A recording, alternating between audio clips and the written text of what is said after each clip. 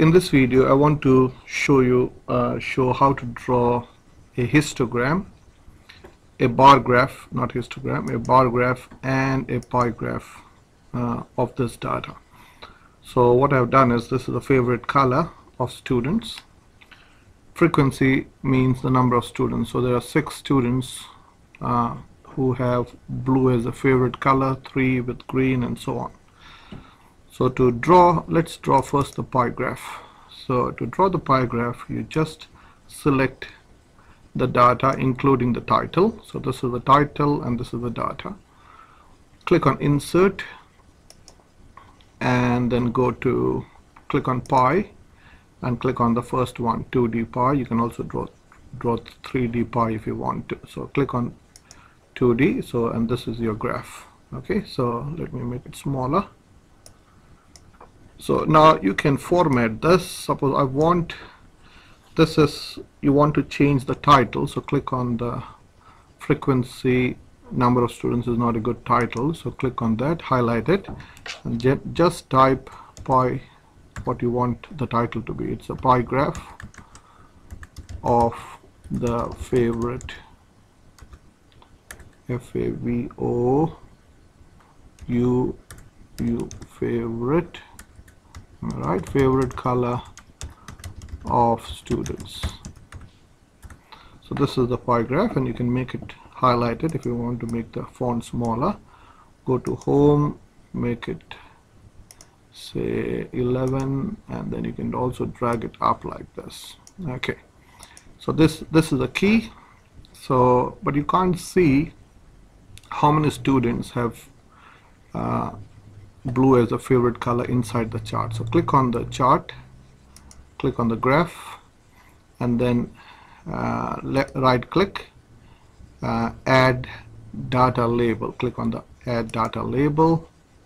So this is uh, you got six students with blue, blue and so on. I also want to add the percentage along with the number. So again uh, the, the data is already clicked. You can go out like this and then you can click and then right click and uh, format form, format data label. Okay? And then you can click on this percentage. If you click on this percentage and close it you can see the percentage there. So let me make it bigger. So here you have got blue. This is out of 30 so let me show you the data. 6 students so 6 out of 30 the total number of students is 30 so so 6 the total number so let me show you how to do the total on Excel. So click on this equal then you go sum sum. Open bracket highlight the data and enter so that this is the total number of students. So this is the total of students.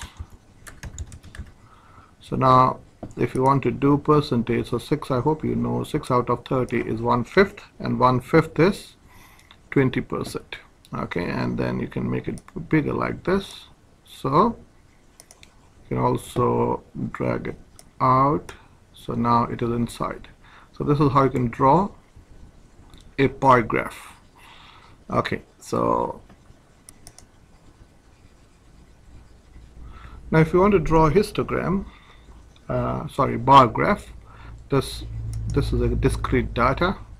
So number of students can't be uh, cannot be as a continuous cannot be in decimal so this is a discrete data. So you don't draw histogram for discrete data you draw bar graph. So highlight this again the same thing.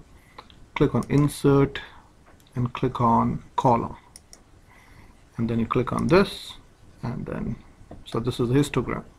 So this is a bar graph.